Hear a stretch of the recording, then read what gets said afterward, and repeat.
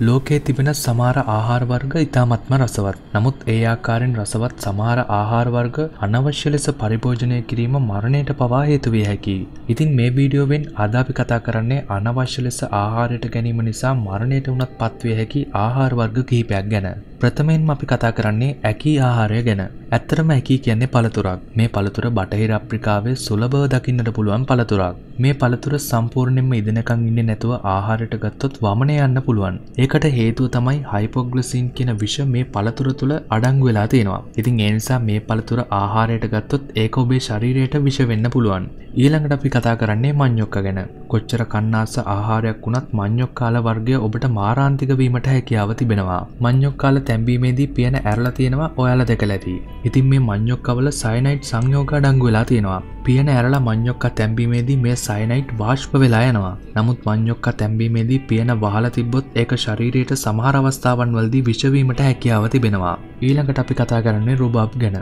සාමාන්‍යයෙන් එලවලු කියන්නේ ඇඟට ගුණදායක ආහාරයක්. නමුත් රුබාබ් කියන එලවලු වර්ගය නම් එහෙම එකක් නෙවෙයි. රුබාබ් කොළ තුල ඔක්සලික් අම්ලය අඩංගු වෙනවා. මේ ඔක්සලික් අම්ලය නිසා වකුගඩු අකර්මණ්‍ය වීම, හුස්ම ගැනීමේ අපහසුතා, පාචනය, අක්ෂි වේදනාව වගේ සංකූලතා ඇති වෙන්න පුළුවන්. ඒ වගේම මේ ඔක්සලික් අම්ලයෙන් ග්‍රෑම් 15වත් 30ත් අතර ශරීරගත වුණොත් ඔබ මරණයට උනත් පත්වීමට හැකියාව තිබෙනවා. නමුත් එසේ වීමට නම් ඔබ රුබාබ් කොළ රාත්තල් 11ක් පමණ ආහාරයට ගත යුතු වෙනවා. ඊළඟට අපි කතා කරන්නේ රතු බෙල්ලන් ගැන මේ සත්වයන් සොයා ගැනීමට අපහසු සත්ව කොට්ටාශයක් විදියට හඳුන්වන්න පුළුවන්. ඔවුන් බහුලව ජීවත් වෙන්නේ මෙක්සිකෝ බොක්ක අත්ලන්තික් සාගරය සහ පැසිෆික් සාගරය වැනි ස්ථානවලයි. රතු බෙල්ලන්ගේ ශරීරය තුළ හෙපටයිටිස් A, ටයිපොයිඩ් සහ අතිසාරය වැනි වෛරස සහ බැක්ටීරියාවන් අඩංගු වෙනවා. ඒ නිසා රතු බෙල්ලන්ව ආහාරයට ගත් විට ඔබට එම රෝග වැළඳීමට ඇති ඉඩකඩ වැඩි වෙනවා.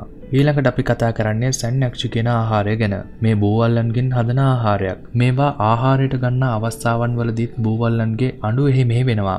ඒ බූවල්ලාගේ නිවරෝණවල ශක්තිය නිසාවෙන්. ඒ නිසා ඔබ මේ ආහාරෙන් කෑල්ලක් කට ඇතුළට දාගත්තොත් ඒක හපන්න කලින් වගේ උගුර ඇතුළට චලනය වෙන්න පුළුවන්. ඒ නිසා මේ ආහාරය ගන්නකොට ඉතාමත්ම පරිස්සම් වීමට අවශ්‍ය වෙනවා. කුඩා ළමුන්ට නම් මේ ආහාරය සුදුසුම නැති ආහාරයක් විදියට තමයි හඳුන්වන්නේ. ඊළඟට අපි කතා කරන්නේ හකල් ගැන. මෙය ග්‍රීන්ලන්තයේ සිටින මෝරන් විශේෂයකින් සාධන ආහාරයක්. නමුත් මේ මෝරුන් හට ගුද මාර්ගයක් නැහැ. ඒ නිසා සියලුම අපද්‍රව්‍ය ඔවුන්ගේ මස් තුළට අවශෝෂණය වෙනවා. කෙතරම් රස වුණත් මේවා ආහාරයට ගැනීමෙන් ඔබ රෝගී වීමට හැකියාව තිබෙනවා. ඊළඟට අපි කතා කරන්නේ අප්‍රිකානු ගෙම්බන්ගේ ආහාරය ගැන. ගෙම්බන් කියන්නේ අපේ රටේ අයට අප්‍රියසාගත සතෙක් වුණත් සමහර රටවල් වලට මොවුන් රසවත් ආහාරයක්. නමුත් ගෙම්බන්ගේ ශරීරය තුළ විෂ අන්තර්ගත වෙලා තියෙනවා. ඒ විෂ නිසා රෝගී වීමටත් හැකියාව තිබෙනවා. කෙතරම් විෂ වුණත් ගෙම්බන් ආහාරයට ගන්නා රටවල් වල මිනිසුන් මේවාට මහත් ආශාවක් දක්වනවා. ඔවුන් පවසන්නේ වැසි තුනක් වැස්සාට පසුව ආහාරයට ගන්නා ගෙම්බන්ගේ විෂ නැති බවයි. ඊළඟට අපි කතා කරන්නේ එල්ඩ බෙරි ගැන. මේවා ඉතාමත්ම රසවත් සහ ඖෂධීය ගුණාංගවලින් යුක්ත ආහාරයක්. සමේතුවාලවලට සෙම්ප්‍රතිශ්‍යාවට මේවා අනගි ඖෂධයක් ලෙස ක්‍රියා කරනවා.